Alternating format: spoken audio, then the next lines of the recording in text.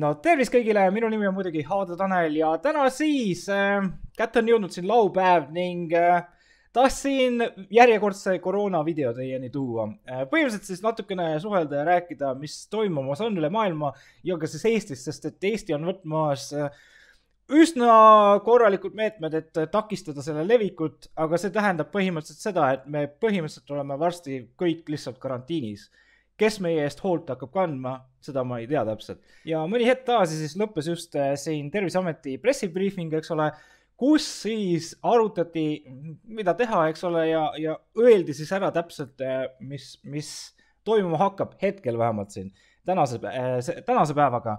ja põhimõtteliselt siis saared lähevad lukku. Hiiumaa, Saaremaa, eks ole, Muhumaa, Vormsi, Kihnu ja Ruhnu.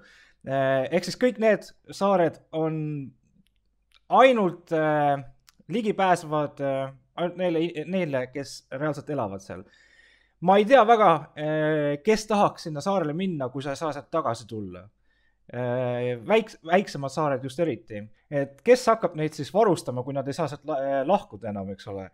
et ühel hetkel saavad varud otsa, mis siis? kas meil on olemas mingid ülikonnad, ülikondades vennad, eks ole, kes lähevad sinna ja siis ohutult viivad toitu ja igast muud asju üle või? Millist toitu ja nii edasi, see on ka muidugi küsimärk, on ju, ilmselt mingi leib, leib ja sai ja vesi.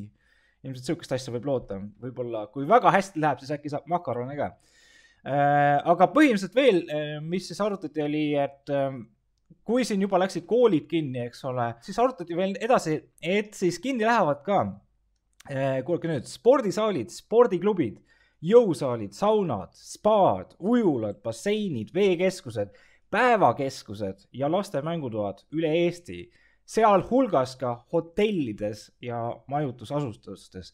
see on nagu väga, nagu, see on, see on väga haige. Äh, üks asi, eks ole, täiesti masendav, okei okay,, ma võin nagu ennast eraldada, on ju, aga ma ikkagi tahaks liigutada ennast, eks ole.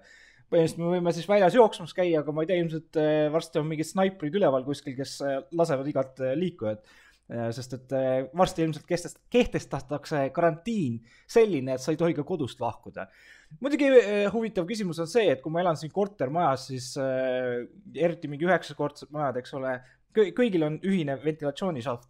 ja nii palju, kui ma olen nüüd kuul-, kuulanud äh, spets, eks ole, inimestel, doktoritel, kes tegelevad sihukeste tugevate viirustega, eks ole, eriti nakkavate viirustega, siis ikkagi on öeldud, et äh, koroonaviirus levib ka läbi õhu rahulikult. Äh, et ei ole lihtsalt ainult, et sa puutud mingit asja.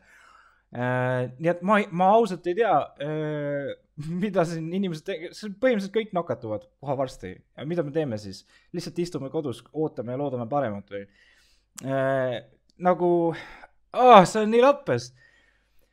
põhimõtteliselt, kui ma õieti aru saan, siis kui karantiinis oled olnud mingisugune kuu aega, siis enamus inimesed on terveks vist saanud või ehk siis tekitanud immuunsuse sellele koroonale.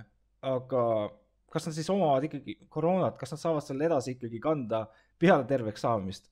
Äh, see on nagu väike küsimärk, ma ei ole ise mingisugune doktor, eks ole, ma ei tea täpselt, kuidas mingisugune koroonaviirus täpselt levib, eks ole, aga nii palju, kui ma olen vaadanud siin, mis just viirusspetsialistid räägivad, siis ikkagi tundub, et õhuga liigub ka, mitte lihtsalt nagu köha pritsmetega.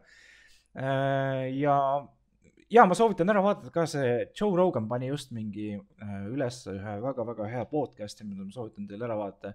üle tunni rääkisid juttu koroonast ja teistest viirustest ja, ja kuidas nakatub, kuidas koroonaviirus üldse nagu nakatab teisi, on ju, ja mida teha nagu, mis on nagu lollus ja, ja siukest asja, et ma ei tea, ma soovitan selle podcast'i ära vaatama, ma panen ilmselt selle lingi kuskile siia description'isse ka, et saate vaadata seda äh,. aga jaa, nagu mida me siis, mida me nagu reaalselt tegema peame?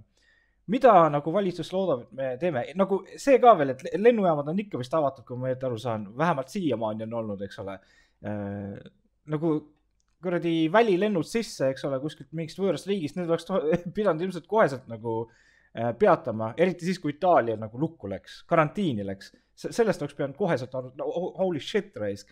Äh, me peaks kõik kohad lukku panema, eks ole.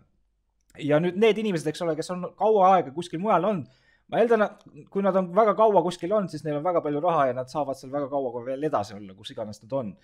Äh, kui ei ole, eks ole, siis võib-olla võiks mingisuguse eraldi mingisuguse privaatlennu teha, eks ole, nagu olete ikka näinud, mingi tuuakse inimesi koju tagasi, eks ole. et ei tohiks nagu täiskeeldu võib-olla peale panna, aga mingi limiteeritud, mingi valitud kogus inimesi võib tagasi tulla, kui tahavad, eks ole. aga need inimesed, kes on praegusel hetkel mingi nädala jooksul, kahe nädala jooksul kuskile, ma ei tea, mingi suvereisil läinud. Äh, adios teiega, äh, näeme mingi aasta pärast äkki võib-olla sest et kui see karantiini praegu lähme, eks ole, ja nagu me kuuleme, et mingi enamus kohti meil ilmselt jääb kuskil maikuuni kinni, on ju. kes see garanteerib, mis, mis see, miks on just maikuu see? kas see on nagu võetud sellest, et oo oh,, tavaliselt need viirused nagu on, vaata, et see, et noh, kuskil seal mingi jaanuarist kuni mingi paar kuud on, eks ole, et. et siis need ka, kangemad viirused vaata vaibuvad ära, on ju. Äh, gripp ja siuksed asjad, eks ole aga kes see garanteerib, et koroonaviirus ära kaob lihtsalt niimoodi? Äh, me oleme näinud jah, tõesti, et mingi soojadel maadel ehk kus on soe kliima, eks ole, rahulikult vohab seal edasi, eks ole, mingit probleemi ei ole. miks nagu soojade ilmadega asi paremaks peaks minema? Äh, ja kui keegi loodab mingisugust antidooti, eks ole, mingit antiviirust, et nagu arvutile paned antiviirus on ju, siis ikka midagi ei peata, on ju. kui sellele loodate, siis puh, paar aastat rahulikult ja seda ilmselt tuleb mingi eriti limiteeritud kogus, siis et eh, tervele maailmale seda anda, hui juhtub seda asja.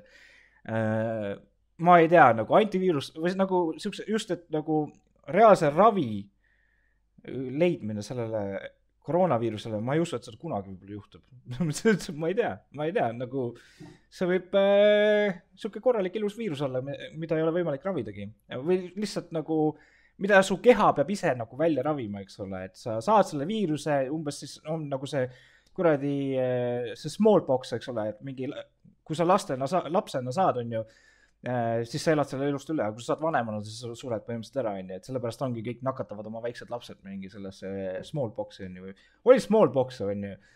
Eh, põhi, põhimõtteliselt see, sihuke teema on ju, et kui sa saad selle koroonaviiruse on ju, et et siis põhimõtteliselt ikkagi peaksime kõik üksteist nakatama ja siis lihtsalt tervemad jäävad ellu ja palju õnne äh, ja ma olen vaadanud ka Youtube'ist mingi inimesi, kes on koroonaviiruses ja osad nagu on tegemas Youtube'i videoid nagu haiglatest. Neil on niikuinii midagi paremat seal teha ja siis lihtsalt räägivad, äh, kuidas nende seisund on, mida, mida nad tuvastasid endale ja nii edasi. aga probleem, suur probleem on lihtsalt see, et mingi sa ei, sa ei tea, sa ei tea, kas sul on, sa oled väga, sa tundud, tunned täiesti tervena ennast alles mingi viis päeva hiljem saad teada, et sa mingi jääd haigeks. aga see viis, viie päeva jooksul, kui sa olid jumala terve, käid kuskil jõukas või kus iganes, onju, sa võisid nakatada kõik seal. kõik võisid nakatada seal, onju.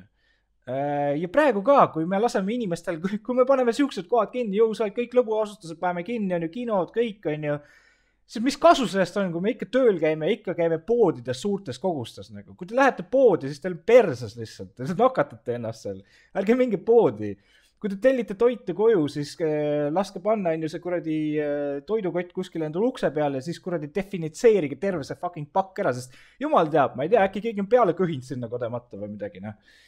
sa ei tea ju, kuskohast see pakk läbi on käinud, on ju.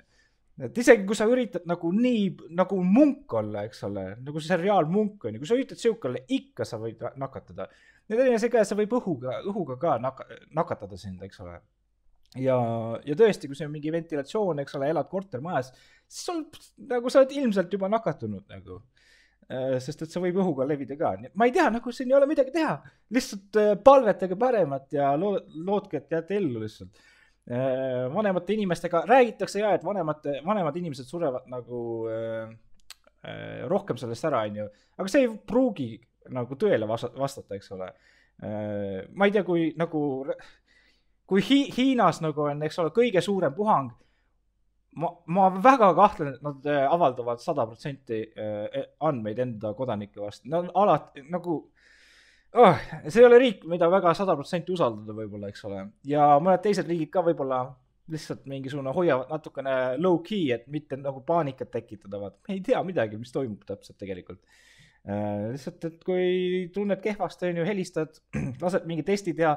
Teste on ka siuksed, et äh, tehakse teste mingi teatud, äh, mõõdetakse sul temperatuuri, asju, on ju, võetakse verd ja tehakse mingi vale test või mingi võet-, mõõdetakse valest kohast temperatuur. ja, ja lähed ikka, oo, sa oled terve, mine rahulikult, mine tööle. siis korra ühe, ühe korra köhid seal, siis, siis on kõik teised ka nakatunud, see on see on, see on kohutav, nagu viiruse vastu niimoodi äh, võidelda on väga, see on kõige suurem asi, mida ma olen kartnud nagu, et mingisugune viirus tuleb, mis lihtsalt, sa ei näe lihtsalt seda, sa ei näe, sa füüsiliselt ei näe seda, eks ole. sa võid teha küll igast pesta oma käsi ja mida iganes, on ju, kas, kas sellest lõpuks on kasu? ühel hetkel sa unustad, oh shit, raisk. ma elan mingi kortermajas, kus mul on mingi, ma enda ukselinke iga kord puhastan, kui ma koju tulen või välja lähen aga oota, mul on väliskoridori uks ka, mida ma naabriga jagan.